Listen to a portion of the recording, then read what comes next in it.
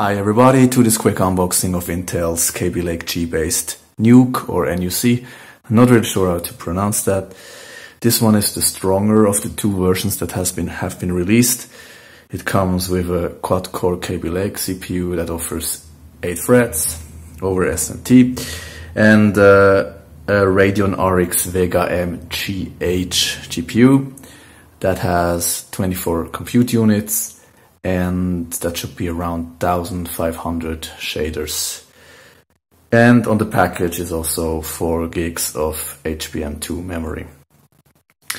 Um, all, at the moment it looks like that the GPU is not pure Vega, it looks like a hybrid between Polaris and Vega, which would make sense because I'm not really sure if it would be clever to offer or to make the their latest technology available to Intel for a product that AMD potentially could offer by themselves. So, and also we have now rumors out there that, and I think SiSoft Sandra benchmarks that show an AMD APU with a real fat GPU. And uh, yeah, we guess we just have to wait and see about that. So uh, maybe let's just open it. As you know, a NUC just comes, it's like a bare bone. It has a case, a CPU, a cooler, and a GPU, and you provide an SSD or some other storage and RAM. And RAM you're going to have to use uh, notebook RAMs, and that would be here in this case uh, SODIMMs DDR4 2400. Um, it has really cool connectability.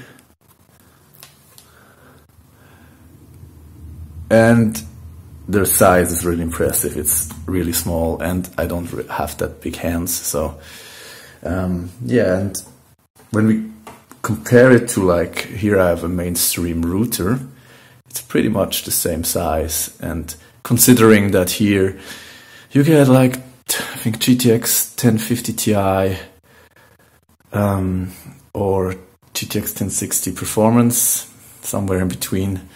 That's pretty damn impressive. And yeah, but we have to see about how it looks like. I'm pretty glad that I can test it now. Um, I always sometimes involuntarily wait a little longer, but that gives the developers time to offer new drivers and fix some bugs. So it's cool that I can test it now with probably a little more major drivers and see about its performance. So going to have some fun with it later on and yeah, you know the story. Uh, if you have any proposals, I mean, what I could test, just let me know in the comments or yeah. So, see you.